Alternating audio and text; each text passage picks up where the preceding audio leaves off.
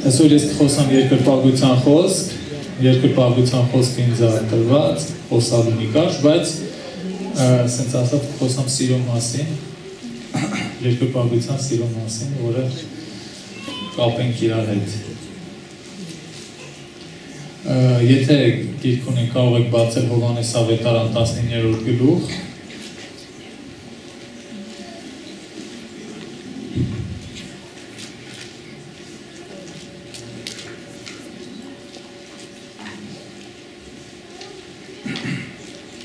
կներեք 21-րդ գլուխ, վերջի գլուխը։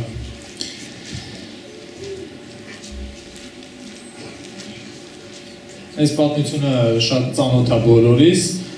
արդեն Հիսուսը երբ խաչվել էր հարություն էր առել, վերջի պատմություններից է, երբ երևում է իր աշակերտներին,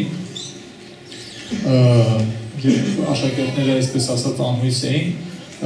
Սիմոն Պետրոսը երբ ասեց ես գնում եմ ձուկ բռնելու, աշակերտներն ասեցին մենք էլ ենք գալիս։ Ու գնացին ձուկ բռնելու եւ նրանց երևում է Հիսուսը ցամաքի վրա, պատմությունը շատ չասենք, որտեղ գիտենք։ Երբ սկսում են իրար հետ ընտրել, Հիսուսը Պետրոսին հարց է տալիս։ Երեք անգամ նույն հարցն է հնչեցնում ու ասում է Սիմոն Պետրոսի որդի սիրում ես ինձ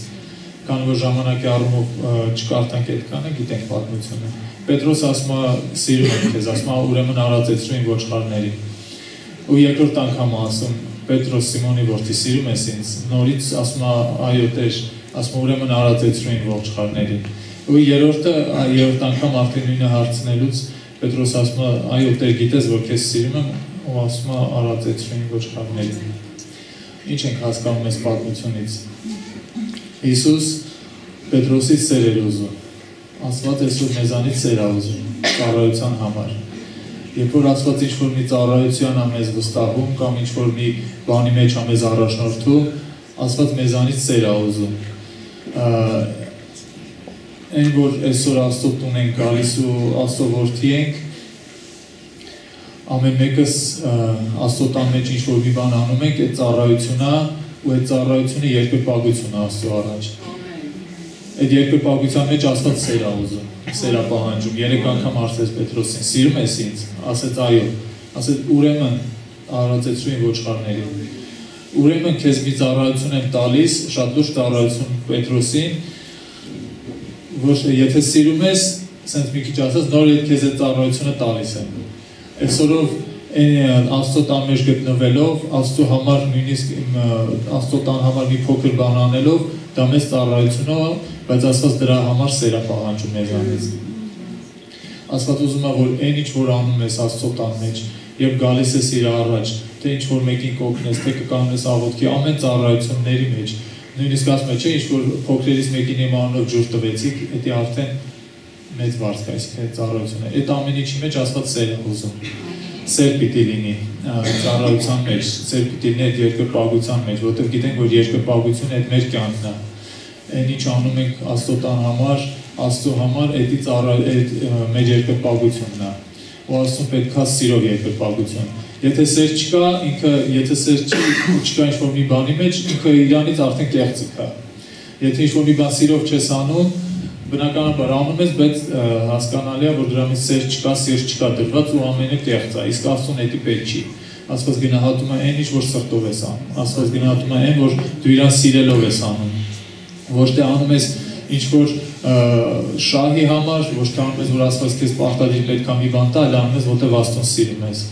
Աստծո տան մեջ ես, որտեղ Աստծուն սիրում ես։ Ինչ որ մեկին օրհնում ես քո ծառայությունով, ինչ որ մեկին ծառայում ես, նրա համար, որ Աստծուն սիրում ես։ Այդ սերն է քեզ դրթում նրան, որ դու ծառայես։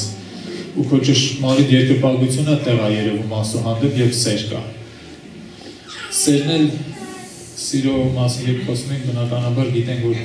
պետքա որ կարդանք Կորինթացիներ 13-րդ գլխից։ Ես կկարդամ արագ, բայց ուզում եմ մի արագ անցնենք, թե ինչ ասել է։ Սերը երկայնամիտ է։ Սերը չի նախանձում, չի գոռոզանում, սերը չի հպարտանում, չի լրկանում, իրենը չի որոնում, չի գրգռում, չարը չի մտածում, անիրավության վրա չի ուրախանում, բայց ուրախանում է ճշմարտության հետ։ Ամեն բանի դիմանում է, ամեն բանի հավատում է, ամեն բանի համար հույս ունի, ամեն բանի համբերում է։ Սերը երբեք չի վերջանա։ Եթե մարգարեությունները կան, կխափանեն եւ եթե լեզուներ կլռեն եւ գիտություններ կխափանեն։ Սիրո մի հիանալի նկարագրությունը Պողոսը մեզ թողել, եթե քո կյանքում կա սեր, ուրեմն պետք է այս ամենը երևա մեր կյանքում։ Սեր Աստծո հանդեպ, ծառայության հանդեպ, բայց Հիսուսը մի լավ բան ասեց, ասեց Եթե քո եղբորը տեսնում ես ու չես սիրում հորը, որ չես տեսնում, ոնց կսիրես։ Առաջին հերթին սկսում է մեր դիմացինից, առաջին հերթին սկսում է մեր կողքիններից։ Եթե սեր կա մեր կյանքում, պետք է այս նկարագիրը լինի մեր կյանքում դիմացիների հանդեպ առանց նախանձի, առանց չարության, առանց իրենը որոնելու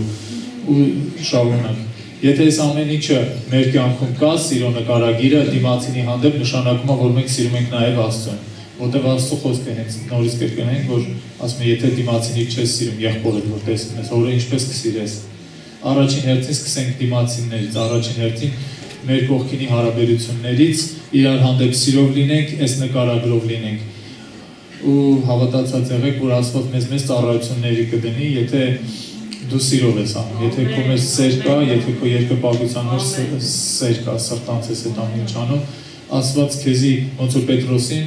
ասեց ուրեմն արածեցրու են ոչխարներին։ Եթե սեր չունենաս, դու դիմացինի համար հոգ չես կարող տանես։ Ինչ որ դիմացինի չես կարող ծառայես։ Ծառայես, բայց առանց սիրո, որի մեջ կլինի կեղծիկ, որը կկանգնենք Աստծո առաջ մի օր ու կասենք քանունով էս էս էս ենք արել, թվարկում է այս ծառայությունները։ Հիսուսը ասում է ես ձեզ չեմ ճանաչում որովհետև այդ ծառայությունների մեջ սեր չկա։ Եթե սեր լինի դիմացինի հանդեպ, եթե սեր լինի Աստծո հանդեպ, քո ծառայությունը կորտնվի,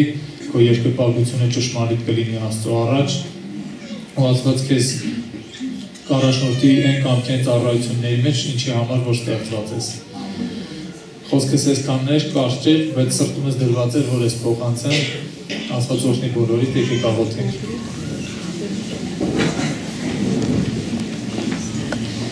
Գոհանում ենք քեզանից Տեր Աստված։ Քո առաջին կանգնած այսօրով Տեր ջան։ Քո առաջ կանգնած ենք ու խնդրում ենք, որ սիրով լեցնես մեզ Տեր Աստված։ Ինչպես քո խոսքն ասում Տեր, լեցնում ես սիրով Տեր իմ Աստված, որպեսզի կարողանանք սիրենք դիմացինին, որպեսզի կարողանանք սիրենք քեզ,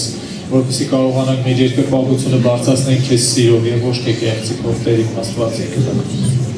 Հավատում ենք, որ դու մեզանից այդ ես ուզում, հավատում ենք, որ դու մեզանից սրտած ծառայություն երկրպագություն ես պահանջում Տեր իմ Աստված։ Հանձնում ենք քո ձեռքերի մեջ Տեր իմ Աստված, եւ քեզ ենք տալի ոչ փառքը, պատիվը եւ մեծարանքը։ Ամեն։